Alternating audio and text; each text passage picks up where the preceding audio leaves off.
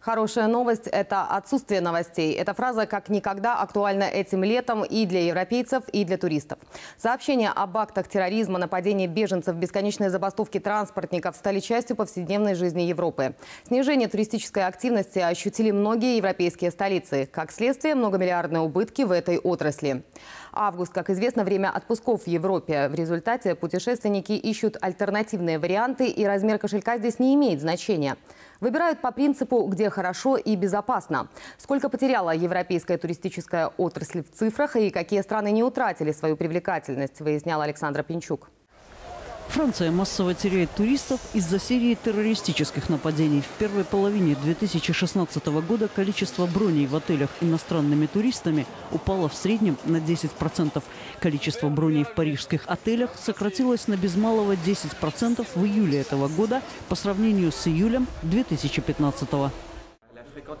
Туристические поездки в Париж сегодня похожи на полосы препятствий, причем препятствий немало. Так, после нападений террористов в ноябре прошлого года мы столкнулись со своего рода психозом. Все туристы хотели знать, насколько безопасно ехать в ту или иную страну, причем это характерно не только для Парижа и Франции, но и для всей Европы из-за терактов в Брюсселе, терактов в Германии терактов в Лондоне.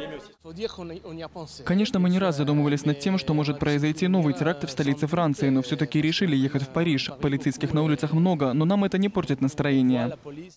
Я заметил, что наши дети ведут себя по-другому, они чувствуют напряжение. Видно, что действуют повышенные меры безопасности в метро и на вокзалах. У нас в Испании все-таки как-то поспокойнее.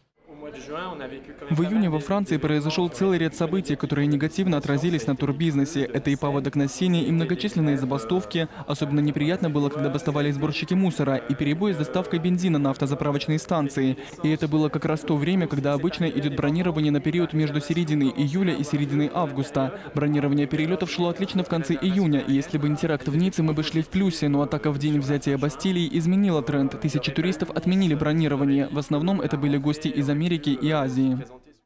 Бронирование билетов на самолеты в Ниццу снизилось сразу на 57% в течение 7 дней после атаки в день взятия Бастилии. Тогда в результате теракта погибли 85 человек, 434 были ранены.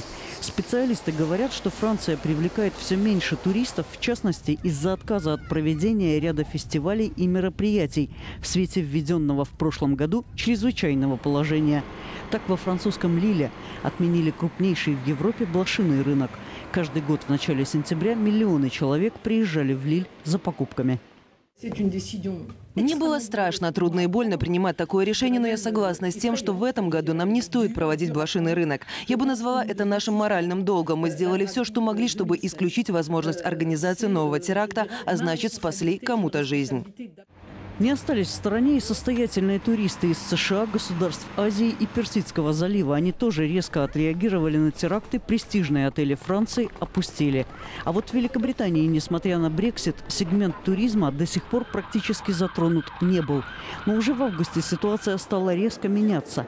Серьезные проблемы коснулись тысяч отпускников, запланировавших путешествия по туннелю под Ла-Маншем. Он соединяет Лондон с Парижем и Брюсселем. Причина – масштабная пятидневная забастовка персонала поездов «Евростар». Разочарованные пассажиры в экстренном порядке вынуждены менять свои планы.